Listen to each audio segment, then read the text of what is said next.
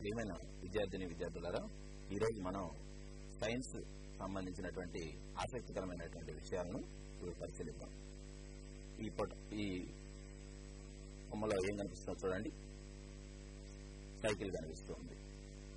ఈ సైకిల్ ఎలాంటి ఇంధనం లేకుండా మనం ఒక నుంచి ఒక ప్రయాణించడానికి చాలా వీలుగా ఉపయోగపడుతుంది. మరి ఈ ఫోటోలో చూడండి. ఇక్కడ ఏమున్నది? స్కూటర్. మరి స్కూటర్ నడవాలంటే మనం ఏం ఉపయోగించాలి ఇందులో ఉండేటువంటి ఇంజన్లో ఇంధనాన్ని పోయాలి. అంటే పెట్రోల్ అనేటువంటి ఇంధనం ద్వారా స్కూటర్ అనేటువంటిది నడుస్తుంది. అలాగే బస్సు డీజిల్ ద్వారా నడుస్తుంది. అలాగే కారు పెట్రోల్ ద్వారాను డీజిల్ ద్వారాను నడుస్తూ ఉంటుంది.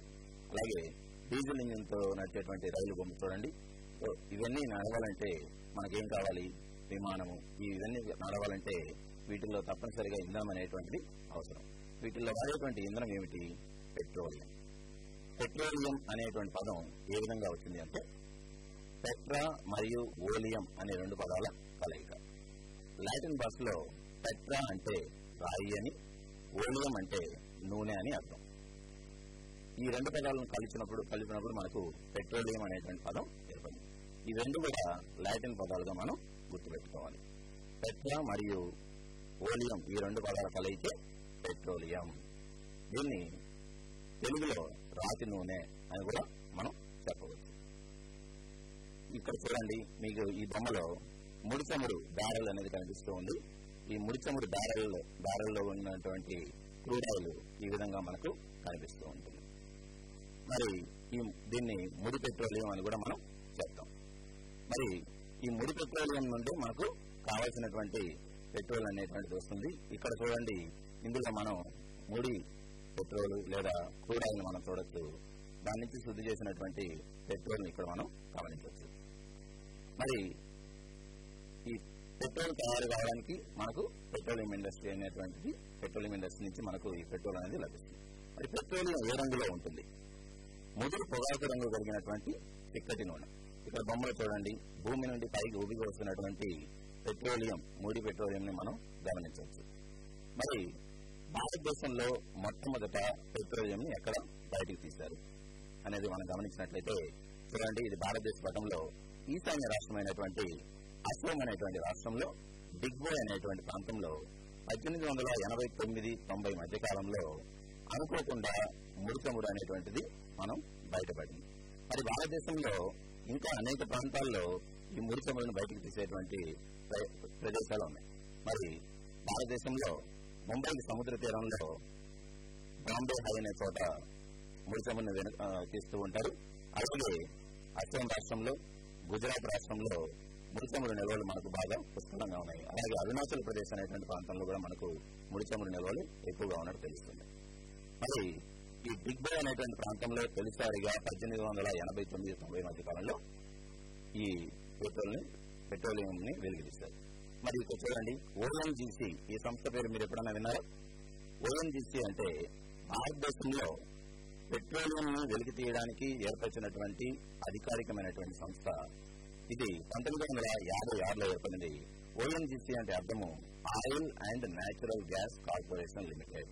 ఈ సంస్థ పంతొమ్మిది వందల యాభై ఆరులో ఏర్పరిచిన తర్వాత భారతదేశంలో అనేక చోట్ల పెట్రోలియం నిక్షేపాలను బయటకు తీయడం అనేటువంటిది జరుగుతుంది. మరి వీళ్ళకి ఇక్కడ చూడండి. బాంబే హై. బాంబే హై అంటే ముంబై సముద్ర తీరంలో అరేబియా సముద్రంలో సముద్రం లోపల నుంచి కూడా మనం ఈ పెట్రోల్ని వెలుగు తీసేటువంటి మా బాంబే హైలో నుంచి సాగర్ సాగర్ సామ్రాట్లో నుంచి కూడా మనం పెట్రోల్ని పెట్రోలియం ని బయటికి తీస్తున్నాం. అలాగే ఇక్కడ చూడండి. ఇది అస్సాం రాష్ట్రంలో మనం ఇంత చెప్పుకున్నాం కదా బిగ్ బై దగ్గర చమురును వెలికి తీసేటువంటి ప్రాంతం. మరి ముడి పెట్రోలియం అసలు భూమి అడుగున ఎలా ఏర్పడింది అనేటువంటిది మనం ఇక్కడ పరిశీలించవచ్చు. భూమికి అడుగు భాగంలో మనం పరిశీలించినట్లయితే మొదట భూపటలాన్ని ఛేదించుకుంటూ ఈ విధంగా డ్రిల్లింగ్ చేసినట్లయితే భూమి యొక్క లోపల భాగంలో మొదట సహజవాయు నిక్షేపం ఉంటుంది. ఆ సహజవాయు నిక్షేపం యొక్క ఒత్తిడి ఒత్తిడి గురి చేస్తూ అడుగున పెట్రోలియం అనేటువంటి దాన్ని మనం ఇక్కడ గమనించవచ్చు. అసలు పెట్రోలియం ఎలా ఏర్పడింది? కొన్ని వేల లక్షల సంవత్సరాలుగా సముద్ర జీవులు మొక్కలు ఇవన్నీ కూడా భూమి యొక్క అడుగు భాగంలో కూడుకొని పోవడం వల్ల వాటి మీద ఇసుక మట్టి అవన్నీ కూడా అధిక ఒత్తిడిని కలుగుచేయడం వల్ల అధిక పీడనము అధిక ఉష్ణోగ్రతల వల్ల అవి పెట్రోలియం గా మారాయి. పైన ఉండేటువంటి ఇసుక మట్టి ఇవన్నీ కూడా రాయిగా మారితే అడుగున ఉండిపోయినటువంటి జీవ సంబంధిత పదార్థం అది పెట్రోలియం పెట్రోలియంగా మారింది. కాబట్టి పెట్రోలియం వెలికి తీసేటప్పుడు మనం భూమి భూమికి ఉండేటువంటి పైన ఉండేటువంటి పొర ఏదైతే ఉందో భూపటలాన్ని దాన్ని తెలుసుకుంటూ లోపలికి వెళ్ళాలి. సాధారణంగానే మనం ప్రాంతాలు చేసుకుని డ్రిల్లింగ్ చేసుకుంటూ లోపలికి వెళ్తే ఆ పైనుండి పైపులు దించినప్పుడు మనం ఏదైతే చెప్తున్నామో ఇక్కడ చూడండి. ఇక్కడ ఉన్నటువంటి ఈ సహజ వాయువు సహజ వాయువు యొక్క సహజ వాయువు యొక్క పీడనం వలన పెట్రోలియం దానంతట అదే పీడనం వల్ల ఉదికి మనం వేసినటువంటి గొట్టల ద్వారా బయటికి వస్తుంది. ఒకవేళ సహజ వాయువు కనుక లేనప్పుడు అప్పుడు మనం వేరే పద్ధతుల ద్వారా పెట్రోలియం ని బయటికి తీయవచ్చు ఇక్కడ మనం గమనించినట్లయితే చూడండి ఇక్కడ పైనుండి గొట్టాన్ని దించినప్పుడు లోపల ఉండేటువంటి ని- పెట్రోలియము ఉప్పు నీరు కలిసినటువంటి మిశ్రమం ఏ విధంగా పైకి వెళ్తుందో ఈ బొమ్మలో మనం చూడవచ్చు. కాబట్టి భూపటలాన్ని తెలుసుకుంటూ డ్రిల్లింగ్ చేస్తూ లోపలికి రంధ్రాలు వేసుకుంటూ వెళ్ళినప్పుడు పైపులు దించినప్పుడు పెట్రోలియం తగలడంతో పైన ఉండేటువంటి సహజ వాయువు యొక్క పీడనం కారణంగా ఆ లోపల ఉండేటువంటి ముడి అనేటువంటిది మనకు బయటికి వస్తుంది. మరి ఎలా డ్రిల్లింగ్ జరుగుతుంది అనేటువంటిది మనం ఇప్పుడు ఇక్కడ చూడవచ్చు ఇక్కడ చూడండి ఈ డ్రిల్లింగ్ పరికరం ఇది. భూమి లోపల పట్టణానికి డ్రిల్లింగ్ చేసుకుంటూ లోపలికి వెళ్ళడం అనేటువంటిది మనం ఇక్కడ గమనించవచ్చు. వేరు వేరు చోట్ల భూమి వేరు వేరు పరిస్థితుల్లో ఉంటుంది కాబట్టి రకరకాల డ్రిల్లింగ్ సాధనాలను ఉపయోగించి ఈ విధంగా భూపటలాన్ని తెలుసుకుంటూ లోపలికి వెళ్ళేసి మనం చూడవచ్చు దీని కంప్యూటర్ సహాయంతో వీళ్ళు ఇక్కడ వివరణ ఇస్తున్నారు. ఇక్కడ చూడండి మూడు రకాలైనటువంటి డ్రిల్లింగ్ సాధనాలు మనం చూడవచ్చు అక్కడ ఉండేటువంటి నేల యొక్క స్వభావాన్ని బట్టి రకరకాలైనటువంటి మూడు రకాలైనటువంటి డ్రిల్లింగ్ సాధనాలతో మనం భూమిని భూపటలాన్ని తొలుచుకుంటూ లోపలికి వెళ్ళవచ్చు. సో ఈ విధంగా ఈ మూడు రకాలైనటువంటి డ్రిల్లింగ్ సాధనాలతో భూమి లోపల ఉండేటువంటి పటలాన్ని భూమి పైన ఉండేటువంటి పటలాన్ని తెలుసుకుంటూ లోపలికి వెళ్ళేసి మనం ఈ పెట్రోలియం అనేటువంటి దాన్ని గొప్పల ద్వారా పైకి లాగవచ్చు. ఇక్కడ మనం స్పష్టంగా గమనించవచ్చు ఇవి ఏ విధంగా రొటేట్ అవుతున్నాయి భ్రమణం చెందుతున్నాయి అనేది చూడొచ్చు. ఇది ఇక్కడ మన కంప్యూటర్ ద్వారా వాళ్ళు అక్కడ విశ్లేషణ విశ్లేషించుకుంటూ తదనుగుణంగా వాళ్ళు డ్రిల్లింగ్ అనేటువంటి దాన్ని చేస్తూ ఉన్నారు. ఈ బొమ్మలో మీరు స్పష్టంగా గమనించవచ్చు ఏ విధంగా భూమి లోపలికి చొచ్చుకొని పోతున్నది డ్రిల్లింగ్ డ్రిల్లింగ్ మిషన్ అనేటువంటిది చూడొచ్చు మనం. మరి ఈ విధంగా డ్రిల్లింగ్ చేసినటువంటి చూడండి ఇక్కడ కూడా చూడండి ఇది డ్రిల్లింగ్ చేయడానికి డ్రిల్లింగ్ చేసినప్పుడు వేయబడినటువంటి రంధ్రం. మరి ఇంతకు మనం చెప్పుకున్నాం. పెట్రోలియం ని వెలిగి తీయడానికి భూపటలానికి రంధ్రం చేసుకుని లోపలికి వెళ్ళినప్పుడు అలా లోపలికి వెళ్ళినప్పుడు సహజవాయువు పైన ఉండి ఒత్తిడి కలుగు చేయడం వల్ల పెట్రోలియం దానంతట అదే బయటకు వస్తుందని చెప్పాం. ఎప్పుడైతే సహజవాయువు అక్కడ లేకుండా పోతుందో అప్పుడు మనం పెట్రోలియం వెలికి చేయడానికి వేరే మార్గం ఎంచుకున్నాము అదే గాలి పంపు ఈ గాలి పంపు ద్వారా మనం లోపలికి గాలిని పంపించి దాని ద్వారా ఒత్తిడి కలుగు చేసి పెట్రోలియం ని బయటికి తేవచ్చు. ఈ గాలి పంపు ఏ విధంగా పనిచేస్తుందో ఇప్పుడు మనం చూద్దాం. చూడండి ఈ పటంలో. గాలి. గాలి పంపు అనేటువంటి దాన్ని భూమిలోకి దించాము ఈ గాలి అనేటువంటిది లోపలికి ప్రజలు ప్రేరణాన్ని కలుగు చేసినప్పుడు లోపల ఉండేటువంటి ముడి పెట్రోలియం ఈ గొట్టం ద్వారా బయటికి వస్తున్నటువంటి విషయం మనం గమనించవచ్చు.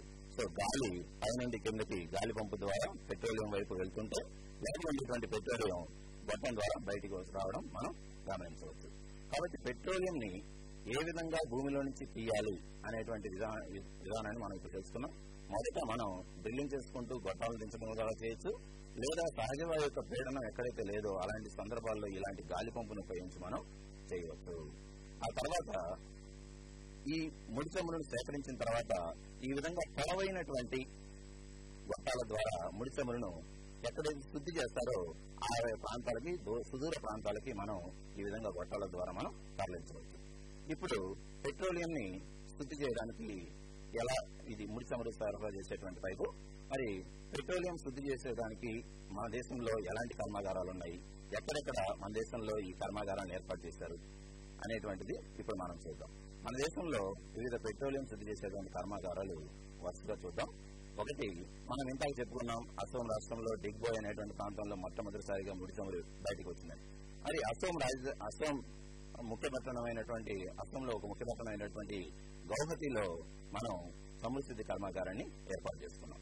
అలాగే భారతదేశంలో ఇంకా తమిళనాడులోని చెన్నై కేరళలోని కోచి గుజరాత్ రాష్ట్రంలోని కోయలా పశ్చిమ బెంగాల్ రాష్ట్రంలోని హల్దియా మొదలైన చోట్ల కూడా మనం సమృద్ధి కర్మాగారాలు అనేవి ఏర్పాటు చేస్తున్నాం ఈ పటంలో చూడండి ఇది పశ్చిమ బెంగాల్ రాష్ట్రంలోని హల్దియా అనే చోట ఏర్పాటు చేసినటువంటి ఇది కోల్కతా అనేటువంటి నగరానికి దగ్గరలో ఉంటుంది. ఈ హల్దియాలో ఏర్పాటు చేసినటువంటి సమృద్ధి కర్మాగారం వీటితో పాటు మన రాష్ట్రంలో సమృద్ధి కర్మాగారం ఎక్కడ ఉంది అంటే ఆంధ్రప్రదేశ్ రాష్ట్రంలో వైజాగ్ మా విశాఖపట్నంలో ఉన్నది. అలాగే ఉత్తరప్రదేశ్లో మధుర అలాగే బీహార్లో బరౌని ఇంకా మహారాష్ట్రలో ముంబై. ఇలాంటి చోట్ల కూడా మనం సమృద్ధి కర్మాగారాన్ని ఏర్పాటు చేస్తున్నాం ఈ సమృద్ధి కర్మాగారాల్లో కల్లా పెద్దది ఏదయ్యా అంటే ఉత్తరప్రదేశ్లో ఉన్నటువంటి మధుర ఆయిల్ రిఫైనరీ. మన రాష్ట్రంలో ఉన్నటువంటి ఏకైక సమృద్ధి కర్మాగారం ఎక్కడ ఉంది అంటే ఆంధ్రప్రదేశ్లోని వైజాగ్. ఇప్పుడు వైజాగ్లో ఉండేటువంటి సమృద్ధి క్షేత్రం సమృద్ధి కర్మాగారం ఎలా ఉంటుందో దాన్ని చూద్దాం. చూడండి ఈ పటం.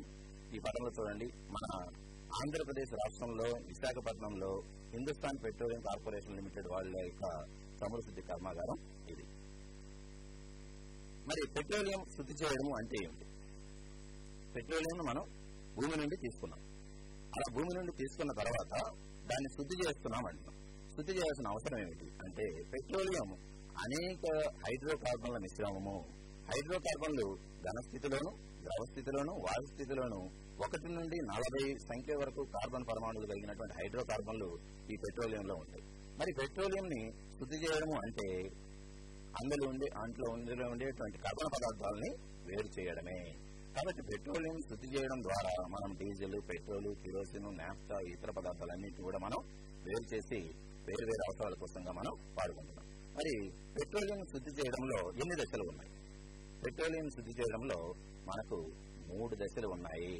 ఈ మూడు దశలని మనం చాలా ముఖ్యంగా గుర్తుంచుకోవాలి. పెట్రోలియం శుద్ధి చేయడంలో ఎన్ని దశలు ఉన్నాయి అంటే మూడు దశలు ఉన్నాయి.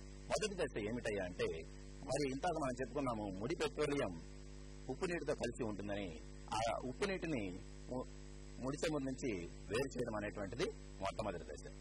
మరి రెండవ దశ ఏమిటయ్యా అంటే ఈ ముడి చమురులో సల్ఫర్ పదార్థాలు కలిగి ఉంటాయి. ఆ సల్ఫర్ పదార్థాలు పనికిరావు. వాటిని మనం వేరు చేయాలి. కాబట్టి సల్ఫర్ పదార్థాలను తొలగించడం అనేటువంటిది రెండవ దశ. ఇక మూడవది అత్యంత ముఖ్యమైనటువంటి దశ ఆంశిక స్వేదనము. ఈ ఆంశిక స్వేదనంలోనే మనకు పెట్రోలియం అనేటువంటిది బాష్పాలుగా మారి అంశీభూ అంశీభూత వాయువులుగా విడిపోతూ ఉంటుంది. కాబట్టి పెట్రోలియం శుద్ధి చేయడంలో ఎన్ని దశలు ఉన్నాయి అని మనం గుర్తుపెట్టుకోవాలంటే మూడు దశలు ఉన్నాయని గుర్తుపెట్టుకోవాలి. మొట్టమొదటిది పెట్రోలియంలో ఉండేటువంటి నీటిని వేరు చేయాలి. రెండవది సల్ఫర్ పదార్థాలను తొలగించాలి. మూడవది ఆంశిక స్వేదనము.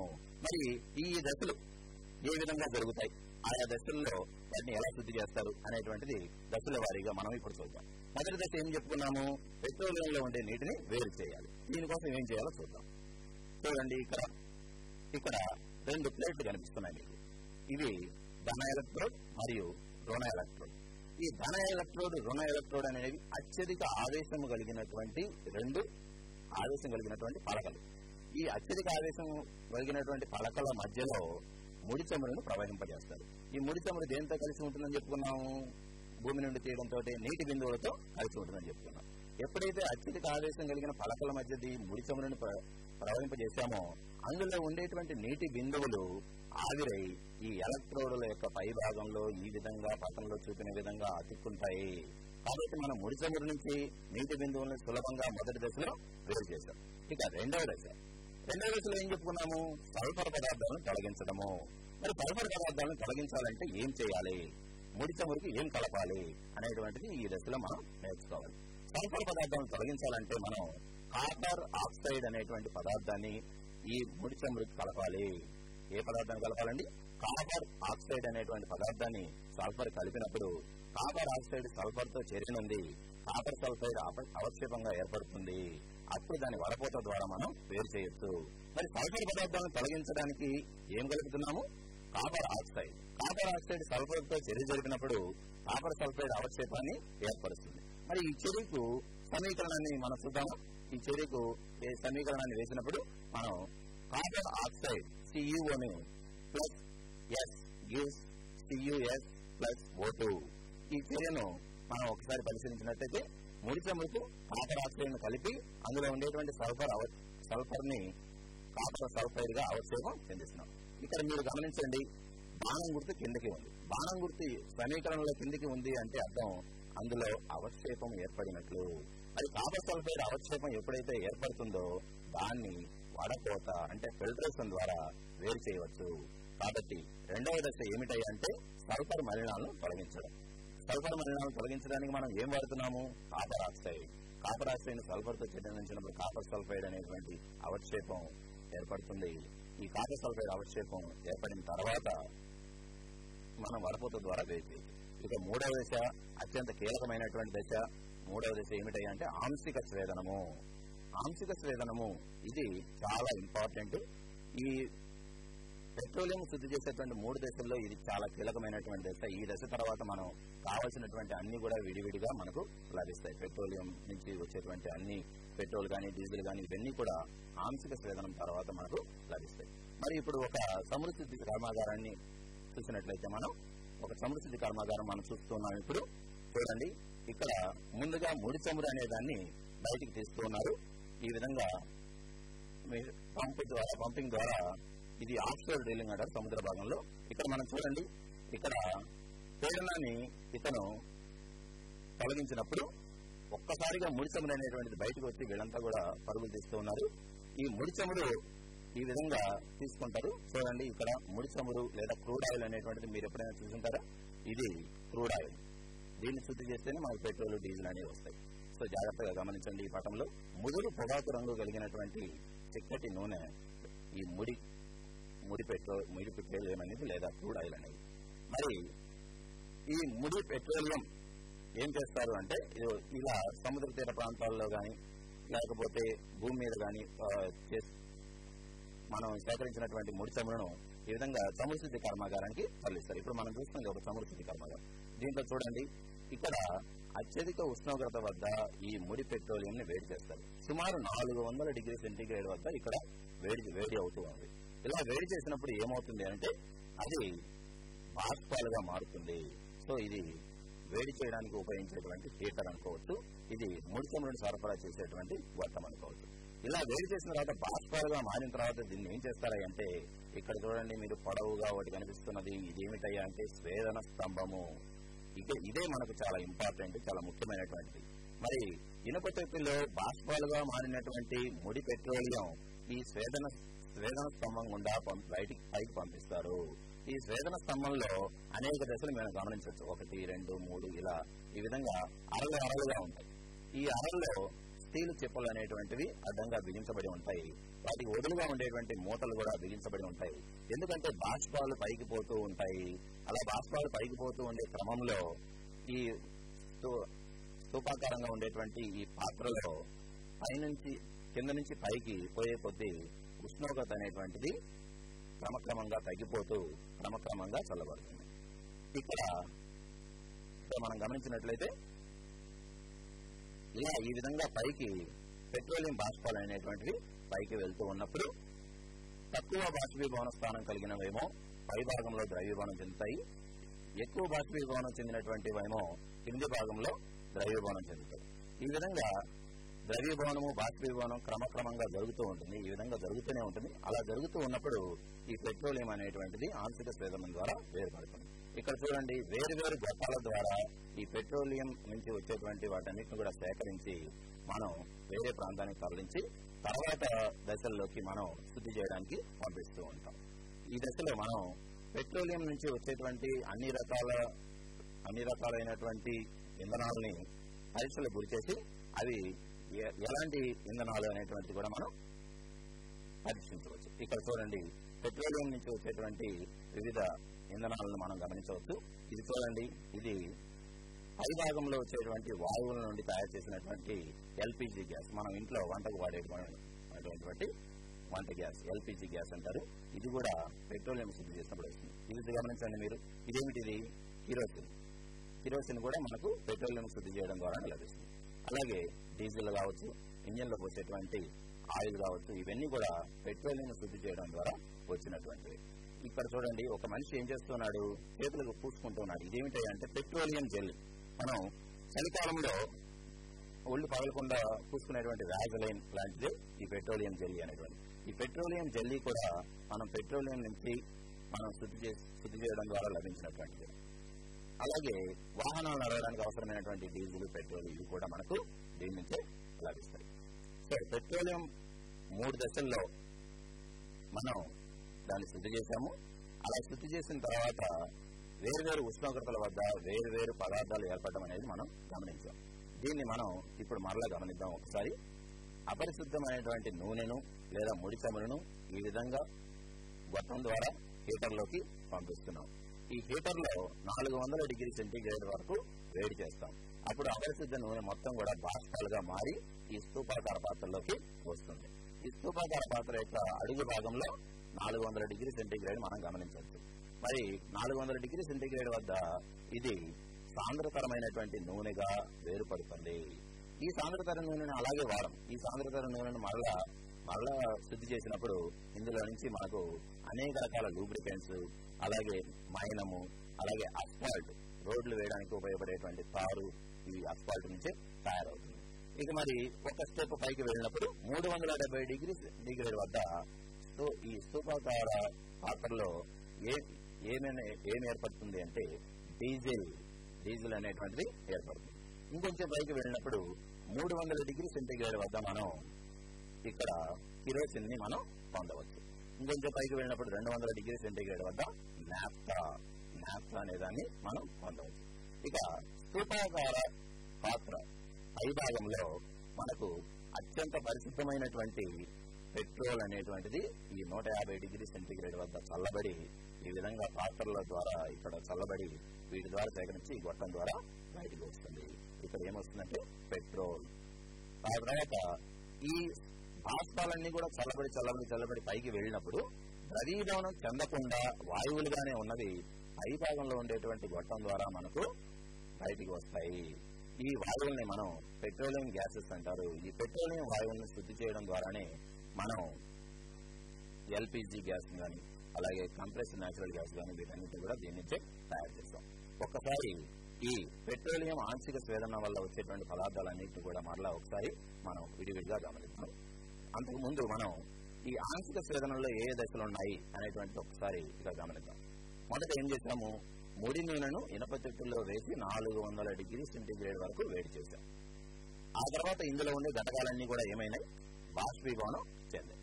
ఇక మూడవది ఏమిటంటే అస్పాల్ట్ అనే ఘన పదార్థం తొట్టులో ఉండిపోతుంది. ఈ పాయింట్ మనం గుర్తుపెట్టుకోవాలి. అన్ని నాలుగు వందల డిగ్రీ సెంటీగ్రేడ్ వద్ద వేడి చేసినప్పుడు బాష్పాలుగా మారినప్పటికీ ఒక అస్పాల్ట్ అనేటువంటి ఘన పదార్థం మాత్రం తొట్టులో ఉండిపోతుంది. ఇది రోడ్లు వేయడానికి ఉపయోగపడే తారుని తయారు చేయడానికి తారు ఇది అస్పాల్ట్ అనేటువంటి దాని నుంచి మనం తయారవుతుంది మరి బాష్పాలు స్వేదన స్తంభం గుండా ప్రవహిస్తూ చల్లబడతాయి. అలా చల్లబడినప్పుడే మనకు వేరు వేరు పదార్థాలు ఏర్పడుతూ ఉన్నాయి. ఆ తర్వాత పాయింట్స్ చూడండి. అధిక బాష్పీభవన స్థానాలు కలిగినవి అడుగు భాగంలో గల చిప్పలలో ద్రవీభవనం చెందుతాయి. అధిక బాష్పీభవన స్థానాలు కలిగినవి అడుగు భాగంలో. అంటే మనం ఇంకా మనం చూసాం సాంద్రతర నూనె కానీ ఆ తర్వాత డీజిల్ కానీ కిరోసిన్ కానీ ఇవన్నీ కూడా అడుగు భాగంలో ఉండేటువంటి చిప్పలలో ద్రవీభవనం చెందుతాయి. తక్కువ బాష్పీభవనం కలిగినది పై భాగంలో ద్రవ రూపంలోకి మారుతాయి. పై భాగంలో అన్నిటికంటే పై భాగంలో వాయువులు బయటకు వెళ్తాయి. వాటిని పెట్రోలియం గ్యాసెస్ అంటారు. ఇక దాని కింద ఉండేటువంటి అంతస్తుల్లో పెట్రోలియం ఈథర్ పెట్రోల్ లాంటివి లభిస్తాయి. సో ఇందులో లభించేటువంటి పదార్థాలు ఏమైతే ఉన్నాయో అవన్నీ కూడా ఇప్పుడు మనం ఒక్కొక్కటికి మనం గమనిద్దాం. పైభాగంలో వచ్చేటువంటివి పెట్రోలియం వాయువులు. చూడండి రకరకాల సిలిండర్లలో వీటన్నిటిని సేకరించి తర్వాత వీటిని లిక్విడ్ పెట్రోలియం గ్యాస్ గాను కంప్రెస్ న్యాచురల్ గ్యాస్ గాను ఇతర వాయువులుగాను మనం మారుస్తాం ఆ తర్వాత పెట్రోల్ పెట్రోలియం ఈథర్ పై భాగాల్లో లభించేటువంటి పెట్రోలియం ఈథర్ రసాయన శాస్త్రం రసాయన పరిశ్రమల్లో అనేక పరిశ్రమల్లో దీన్ని ద్రావణిగా ఉపయోగిస్తారు. ఇది మనకు పెట్రోలియం ఈథర్ అనేటువంటి దాన్ని గుర్తుపెట్టుకోవాలి. అలాగే పెట్రోల్ అన్ని వాహనాలకు మనం ఇంధనాలుగా వాడేటువంటి పెట్రోల్. ఇంకొంచెం కింది భాగంలో ఏమవుతుందంటే నాఫ్తా. ఈ నాఫ్తాను మండించడం ద్వారా మనం విద్యుత్ శక్తిని పుట్టించవచ్చు నాఫ్తాను మరలా తైలభంజనం చేయడం ద్వారా పెట్రోల్ కూడా మనం తయారు చేయొచ్చు. ఇక్కడ మనం గమనించండి ఈ విధంగా గ్లాసులో తీసుకున్నప్పుడు నాఫ్తా అనేది ఈ విధంగా ఉంటుంది. ఆ తర్వాత కిరోసిన్. కిరోసిన్ అనేటువంటిది మన ఇంట్లో ప్లాంటర్లలో వాటిలో ఉపయోగిస్తూ ఉంటాం. అలాగే అనేక వాహనాల్లో అనేక ఇంజన్లలో కొన్నిట్లో ఇంజిన్ ఇంజన్లలో వీటిని ఇంధనంగా కూడా వాడతారు మరి డీజిల్ అలాగే వాహనాల్లో ఘర్షణను నివారించడానికి లూబ్రికెంట్స్గా వాడేటువంటి గ్రీజు ఇవన్నీ కూడా ఈ పెట్రోలియం యొక్క ఆంశిక స్వేదన వల్ల లభించేటువంటివి ఇంతకు మనం చూసినటువంటి పెట్రోలియం జెల్లీ అలాగే తారు ఇవన్నీ కూడా పెట్రోలియం ఆంశిక స్వేదన వల్ల వచ్చినవి. ఇప్పుడు పెట్రోలియం ఆంశిక స్వేదనం వలన వచ్చేటువంటి పదార్థాలను మరలా మనం ఏ విధంగా మార్చవచ్చు వీటిని పెట్రో కెమికల్స్ కెమికల్స్గా మార్చవచ్చు పెట్రోలియం ఆంశిక స్వేదనం వల్ల వచ్చేటువంటి పదార్థాలు ఏవైతే ఉన్నాయో వాటిని అనేక రసాయన చర్యలు గురి చేయడం ద్వారా పెట్రో కెమికల్స్గా మనం మార్చవచ్చు. ఇది కూడా ఒక పెద్ద పరిశ్రమ. పెట్రోలియం ఆంశిక సేదనంలోకి పెట్రోలు వచ్చే పెట్రోల్ డీజిల్ సాంద్రత నూనె ఇవన్నీ పొడవైనటువంటి శృంఖలాలు కలిగినటువంటి హైడ్రోకార్బన్లు. వాటి మధ్యలో ఉండేటువంటి అనేక పరమాణువులు మార్చడం ద్వారా మనం ఈ పెట్రోకెమికల్స్ అనేటువంటి వాటిని తయారు చేయవచ్చు మరి పెట్రోకెమికల్స్గా పేరొందినటువంటి పదార్థాలు ఏవి ఉన్నాయి అవి మనం గమనించినట్లయితే ప్లాస్టిక్లు రబ్బర్ పేలుడు వస్తువులు కృత్రిమ దారాలు సువాసన ద్రవ్యములు అంటే మనం సుగంధ సుగంధ పరిమళాలు వెదజల్లేటువంటి సెంట్లు అనమాట అలాగే వార్నిష్లు అద్దకపు రంగులు పెట్రోల్ వంట గ్యాస్ ఆల్కహాల్ పారఫిన్ కొవ్వు కందెన ఆస్ఫాల్ట్ ఇవన్నీ కూడా మనం పెట్రో కెమికల్స్గా మనం చెప్పుకోవచ్చు వీటన్నిటిని కూడా మళ్ళీ ఒకసారి పరిశీలిద్దాం. ఇవి ఏమిటి? ప్లాస్టిక్లు. ప్లాస్టిక్లు ఏర్పడాలంటే ముందు ప్రాథమికంగా మనం పెట్రోలియం పెట్రోలియం నుంచి శుద్ధి చేయడం ద్వారా వచ్చినటువంటి ఆంశిక స్వేదన వల్ల వచ్చినటువంటి అనిశ్చిభూత వాయువులను తీసుకొని వాటిని చల్లబరిచి వాటిలో ఉండేటువంటి పరమాణువుల సంఖ్యను మార్చడం ద్వారా వాటి యొక్క శృంఖలాలను మార్చడం ద్వారానే ఇవి తయారవుతాయి. ప్లాస్టిక్లు అలాగే ఇక్కడ చూడండి రబ్బర్ వస్తువులు అలాగే పేలుడు వస్తువులు ఇవన్నీ కూడా మనం పెట్రోకెమికల్స్గా చెప్పుకోవచ్చు దీని తర్వాత కృత్రిమ దారాలు నైలాన్ పెర్లిన్ రేయాన్ ఇలాంటి కృత్రిమ దారాలు తయారవ్వాలంటే పెట్రోలియం నిక్షేప పెట్రోలియం అంశీభూత వాయువులు ఏవైతే ఉన్నాయో అంశీభూతాలు ఏవైతే ఉన్నాయో పెట్రోల్ డీజిల్ అలాంటి వాటిని అలాంటి వాటి నుంచే ఇది తయారవుతాయి. ఆ తర్వాత కృత్రిమ దారాలు ఇంకా ఇంతాక మనం చెప్పినటువంటి సువాసన ద్రవ్యాలు ఆ తర్వాత వార్నిష్లు. ఈ వార్నిష్లు ఎక్కడ వాడతాము? మనం చెక్క చెక్కలు వాటికి పురుగు పట్టకుండా వాటికి వార్నిష్ వేయడం వార్నిష్ వేయడం మనం గమనిస్తూ ఉంటాం. ఇవన్నీ కూడా అద్దకపు రంగులు. దుస్తులను రంగురంగుల దుస్తులతో అద్దకం చేయడానికి వాడేటువంటి అద్దకపు రంగులు డైస్ అంటారు వీటిని. ఈ డైస్ తయారవ్వాలని కూడా మనం పెట్రోలియం నిక్షేపాల నుంచి పెట్రోలియం నుంచి శుద్ధి చేయడం ద్వారా మాత్రమే వీటిని చేయగలుగుతాం. అలాగే పెట్రోల్ కూడా మనం ఈ పెట్రోకెమికల్స్ భాగంలో మనం తయారు చేయొచ్చు. ఇంకా ఇక్కడ మనం చూడండి. వంట గ్యాస్. ఈ వంట గ్యాస్ కూడా మనం పెట్రోకెమికల్స్ గానే మనం తెచ్చుకోవచ్చు. అలాగే ఆల్కహాల్ ఆల్కహాల్ పరిశ్రమల్లో కూడా మనం ఈ పెట్రోలియం పెట్రోకెమికల్స్ నిక్షేప పెట్రోకెమికల్స్ కానీ వీటిని కూడా మనం చెప్పవచ్చు. అలాగే ఇక్కడ చూడండి పారఫిన్ మైనం. ఇది అందరూ కూడా మన కొవ్వొత్తులు మనం చూస్తూ ఉంటాం ఈ పారఫిన్ మైనం కూడా పెట్రోలియం ఆంశిక స్వేదనంలో లభించేటువంటి ఒక పదార్థంగానే మనం గుర్తుపెట్టుకోవాలి. మనం క్రింది భాగంలో నాలుగు వందల డిగ్రీ సెంటీగ్రేడ్ వద్ద సాంద్రతర నూనె అనేటువంటి దాన్ని మనం చూసాం కదా. దాన్ని మరలా శుద్ధి చేయడం ద్వారా ఈ పారఫిన్ మైనము లేదా పారఫిన్ వ్యాక్స్ అనేటువంటి దాన్ని మనం చేయవచ్చు. ఈ దీని నుంచే మనం కొవ్వొత్తులు అనేటువంటి తయారు చేస్తాం. మరి తారు రోడ్లు వేయడానికి అవసరమయ్యేటువంటి తారు ఎస్పాల్ట్ అనేటువంటి ఈ ఇనప అడుగు భాగంలో మిగిలిపోయినటువంటి ఘన పదార్థం ఏదైతే ఉందో ఎస్పాల్ట్ని కరిగించి తారుగా మార్చి ఈ విధంగా రోడ్లు వేయడానికి మనం ఉపయోగిస్తూ ఉంటాం. ఇంకో ఈ బొమ్మలో కూడా మనం చూడండి. ఇక్కడ రోలింగ్ ద్వారా ఈ రా- తార్ రోడ్డు అనేటువంటి దాన్ని చదువు చేస్తూ ఉన్నారు. మరి అలాగే లూబ్రికెంట్స్ వాహనాల్లో ఘర్షణను నివారించడానికి అవసరమయ్యేటువంటి వాటిని వాహనాల ఘర్షణ నివారిస్తాయి కాబట్టి వీటిని స్నేహకాలు అని కూడా పిలుస్తారు తెలుగులో. లూబ్రికెంట్స్ అంటారు. వీటిని ఘర్షణలు నివారించడానికి వాడతారు. మనం పెట్రోలియం శుద్ధి చేసినప్పుడు అడుగు భాగంలో మిగిలేటువంటి సాంద్రతర నూనె నుంచి ఇలాంటి లూబ్రికెంట్స్ అనేటువంటివి తయారవుతాయి. ఇందులో మనం పెట్రోల్ గురించి ప్రత్యేకంగా తెలుసుకున్నాం పెట్రోల్ని గ్యాసోలిన్ అనే పేరుతో కూడా పిలవచ్చు. పెట్రోలియం యొక్క ఆంశిక ఛేదంలో అత్యంత ముఖ్యమైనటువంటి భాగం పెట్రోల్. అయితే మనం పెట్రోల్ పెట్రోలియం అనేటువంటి ఖనిజం నుంచి కేవలం పెట్రోల్ని ఇరవై శాతం మాత్రమే పొందగలుగుతాం. ఇక మిగిలినవన్నీ కూడా క్రింది భాగంలో ఉండేటువంటి డీజిల్ నాఫ్తా ఆ తర్వాత సాంద్రతర నూనె వీటిని మరలా తైలబంధనం చేయడం ద్వారానే పెట్రోల్ తయారు చేస్తాం. పెట్రోల్ అనేటువంటిది చూడండి ఐదు నుండి తొమ్మిది కార్బన్లు కలిగినటువంటి హైడ్రో కార్బన్ల మిశ్రమము. అలాగే పెట్రోల్ లేక గ్యాసోలిన్ యొక్క ద్రవీభవనం అనేటువంటి నలభై డిగ్రీ సెంటీగ్రేడ్ నుంచి నూట ఇరవై డిగ్రీ సెంటీగ్రేడ్ వరకు ఉంటుంది. పెట్రోల్ చాలా తేలికైనటువంటి హలో? హలో. నమస్తే సార్. ఆ, నమస్తే చెప్పండి. పెట్రోల్ కంటే డీజిల్ సైడ్ డౌన్ ఎందుకని పెట్రోల్ కంటే డీజిల్? రెండు పెట్రోల్ కానీ ఎందుకని ఇప్పుడు ఇంతకు మనం పాఠం చెప్పుకుంటున్నప్పుడు డీజిల్ అనేటువంటిది క్రింది భాగంలో ఏర్పడుతుంది. పెట్రోల్ అనేటువంటిది పై భాగంలో ఏర్పడుతుంది. పెట్రోల్ అనేటువంటిది పరిశుద్ధమైనటువంటిది. అలాగే పెట్రోలియం నుంచి మనం కేవలం ఇరవై శాతం మాత్రమే పెట్రోల్ పొందగలుగుతాము ఆ తర్వాత తైలభంజనం చేయడం ద్వారా ఇతర పెట్రోలియం పదార్థాల నుంచి పెట్రోల్ తయారు చేసుకున్నాం మనం. అలా తయారు చేస్తున్నాం కాబట్టి పెట్రోల్ అనేటువంటిది చాలా ఖరీదైంది. సుమారుగా ఇప్పుడు మనకు యాభై రూపాయలు ఉంది లీటర్. అదే డీజిల్ అనుకోండి ముప్పై ఐదు రూపాయలు ఉంది. డీజిల్ని మరలా తైలభంజనం చేయడం ద్వారా డీజిల్ని తైలభంజనం చేయడం ద్వారా పెట్రోల్ తయారు చేస్తారు కాబట్టి పెట్రోల్ అనేటువంటిది ఖరీదు అవుతున్నది డీజిల్ అనేటువంటిది సౌకర్యం డీజిల్ అనేది కొన్ని పరి అపరిశుద్ధమైనటువంటి నూనెగా మనం చెప్పుకోవచ్చు. మరి ఈ పెట్రోల్ లేక గ్యాసోలిన్ అనేటువంటి యొక్క ద్రవ్యభవన స్థానం ఎంత ఉంటుందని మనం చెప్పుకున్నాము? నలభై డిగ్రీ సెంటీగ్రేడ్ నుంచి నూట ఇరవై డిగ్రీ సెంటీగ్రేడ్ వరకు ఉంటుంది. ఈ పెట్రోల్ అనేటువంటిది నీటి కన్నా చాలా తేలికైంది. ఎప్పుడైనా మీరు పెట్రోల్ చొక్క నీటి మీద వేసి చూడండి అది మునుగుతుందా తేలుతుందా? పైన పెట్టులాగా తేలుతుంది. ఎందుకంటే పెట్రోల్ యొక్క సాంద్రత నీటి సాంద్రత కన్నా చాలా తక్కువగా ఉంటుంది. మరి ఈ పెట్రోల్తో మనం బట్టలను కూడా శుభ్రం చేయొచ్చు. ఉన్ని బట్టలు సిల్క్ బట్టలు ఇవన్నీ కూడా నీటిలో ముంచినప్పుడు కుంచుకుపోతాయి వాటి మీద మాటలు పడతాయి. వాటిని తొలగించాలంటే మనం డ్రై క్లీనింగ్ చేస్తాం. సో డ్రై క్లీనింగ్ చేయడానికి మనం ఏం వాడతాము? పెట్రోల్ని వాడతాము. నీటితో పని లేకుండా బట్టలను పెట్రోల్ వంటి పదార్థాలతో శుభ్రపరచడాన్ని డ్రై క్లీనింగ్ అంటారు. ఇందులో మనం నీటిని వాడటం లేదు కాబట్టి దీన్ని డ్రై క్లీనింగ్ అంటున్నారు. ఎప్పుడైతే పెట్రోల్తో శుభ్రం చేస్తామో ఈ ఉన్ని బట్టలు పెట్రోల్ పట్టుబట్టలు వీటి మీద ఉండేటువంటి మరకలు చాలా శుభ్రంగా వెళ్ళేసి డ్రై క్లీనింగ్ తర్వాత ఇవి ఎక్కువ కాలం మనడానికి అవకాశం కూడా మనకు ఉంది. కాబట్టి పెట్రోల్ వాహనాల్లో ఇంధనంగానే కాదు మనం బట్టలను శుభ్రం చేయడానికి డ్రై క్లీనింగ్లో కూడా వాడతారనేటువంటి విషయం గుర్తుపెట్టుకోవాలి. అయితే పెట్రోల్తో శుభ్రపరిచేటప్పుడు వీటిని ఎండలో ఆరవేయకూడదు. వీటిని నీడలో ఆరవేస్తారు. ఇక్కడ మనం చూడండి. డ్రై క్లీనింగ్ యంత్రం.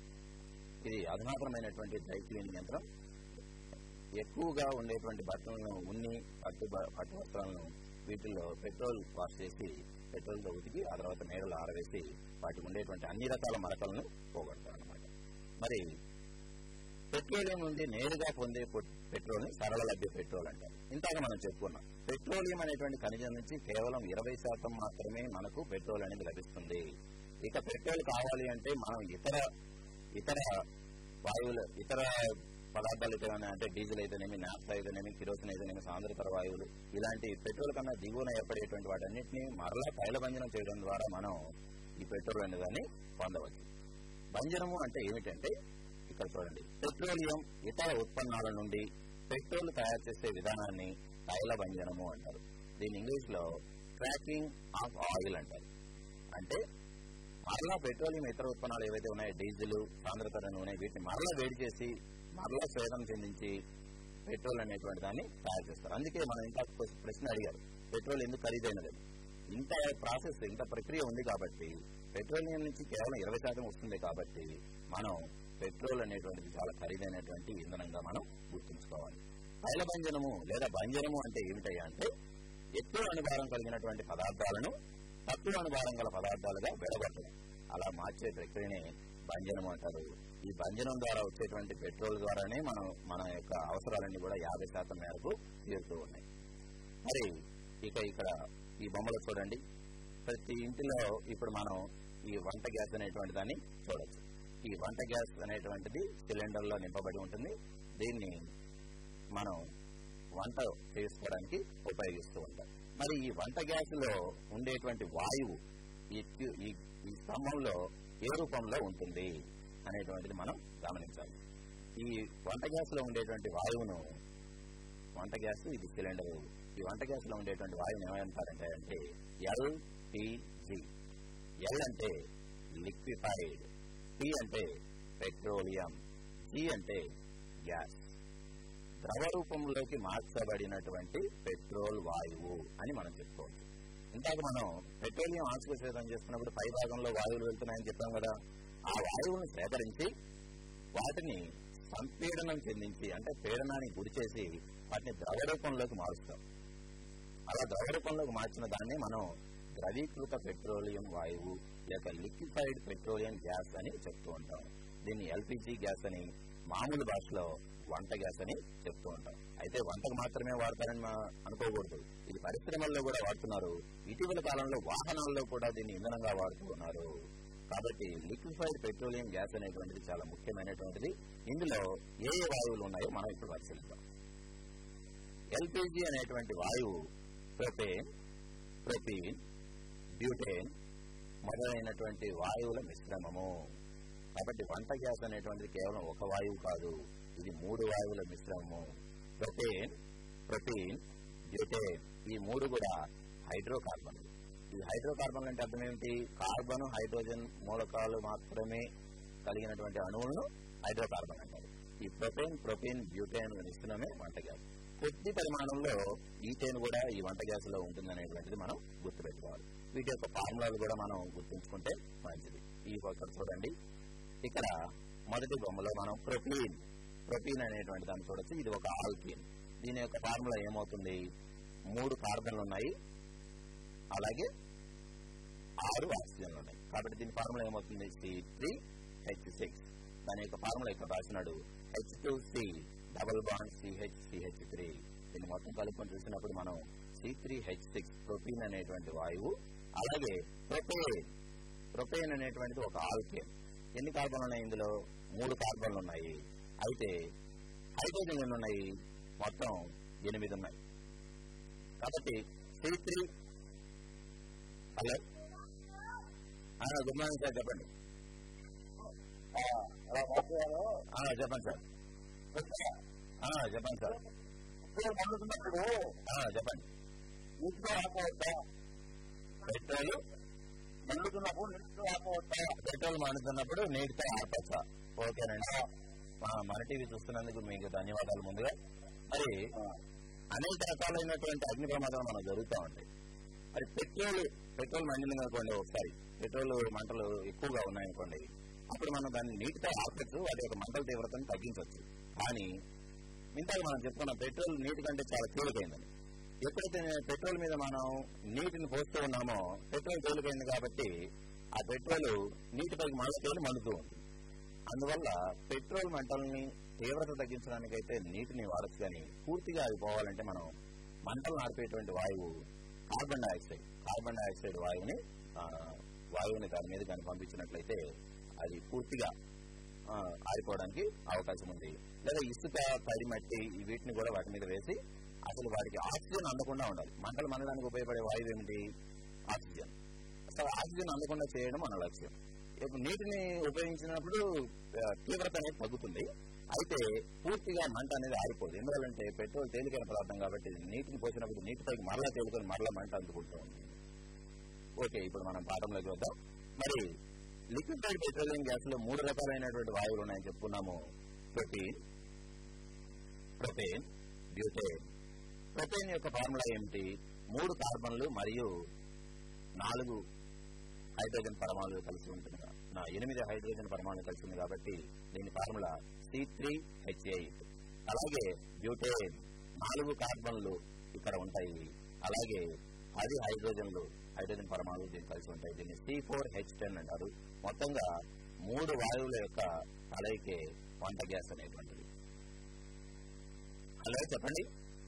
సార్ ఎస్ఏహెచ్ మైల్పూర్ నుంచి ప్రశ్న అడుగుతున్నాను సార్. సార్ చెప్పండి సార్.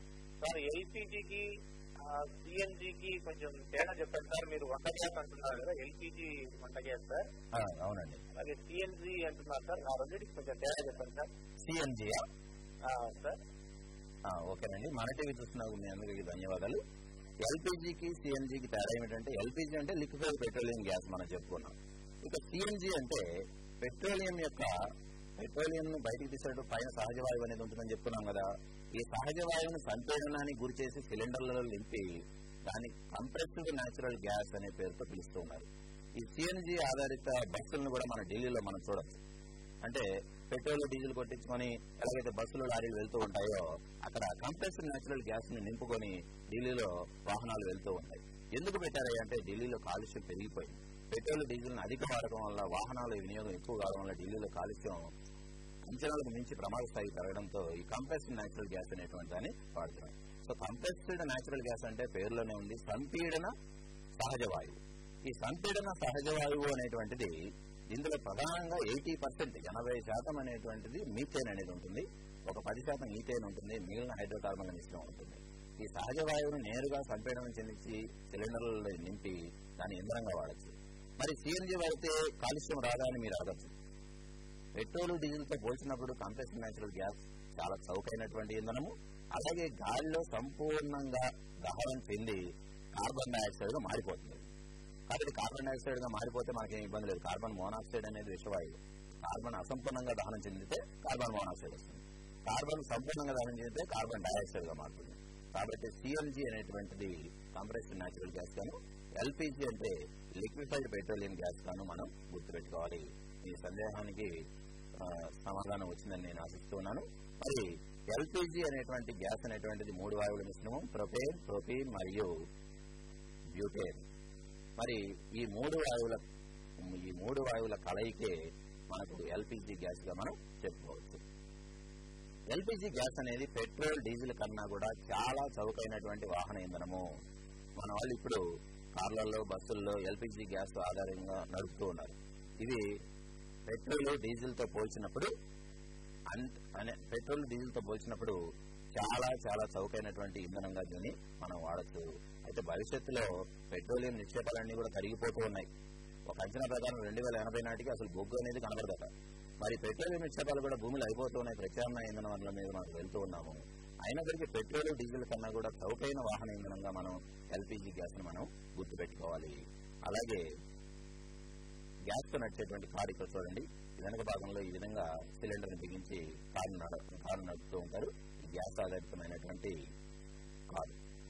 మరి ఇంతకు చెప్పున్నారు కదా సిఎన్జి అంటే కంప్రెస్డ్ న్యాచురల్ గ్యాస్ సంపీడన సహజ వాయువుగా దీన్ని మనం గుర్తుపెట్టుకోవాలి. సహజ వాయువును నేరుగా సంపీడన చెందించడం ద్వారా ఈ సిఎన్జి అనేటువంటి గ్యాస్ని మనం తయారు చేయవచ్చు.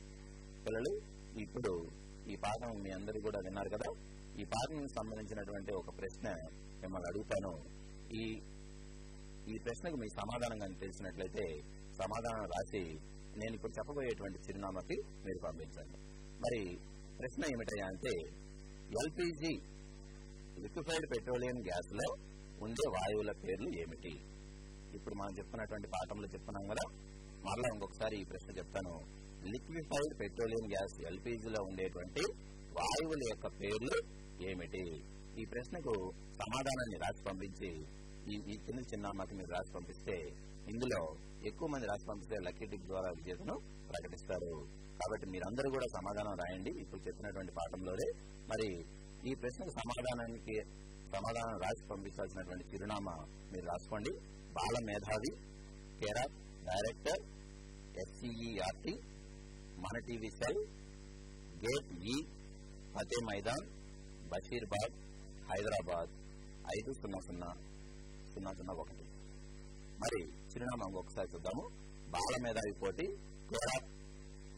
డైరెక్టర్ ఎస్సీఈఆర్టీ మన టీవీ సెల్ గేట్ ఈ ఫతే మైదాన్ బషీర్బాగ్ హైదరాబాద్ పిన్ కోడ్ ఐదు లక్షల ఒకటి.